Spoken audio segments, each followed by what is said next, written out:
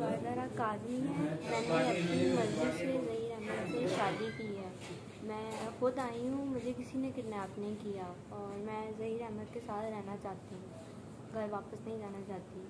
मैं घर से कोई भी कीमती सामान नहीं लाई और अपने, अपनी मर्ज़ी से मैंने निकाह किया है।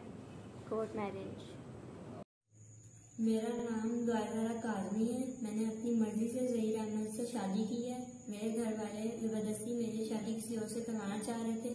मुझे मारते थे जिसपे मैं राज़ी नहीं हूँ। मैं अपनी मर्ज़ी से अपने घर से आई हूँ। मुझे किसी ने अगवा नहीं किया था। मैं अपने घर से कोई कीमती सामान नहीं लाई थी। मेरे घर वाले मेरी उम्र गलत बता रहे हैं। मैं बालिग हूँ। मेरी उम्र अठारह साल है। मैंने अपनी मर्ज़ी से जहीर अहमद से कोर्ट मैरिज की है। किसी की कोई ज़ोर ज़बरदस्ती नहीं है। खुदारा मुझे तंग ना किया जाए। मैं अपने घर में अपने शौहर के साथ बहुत खुश हूँ।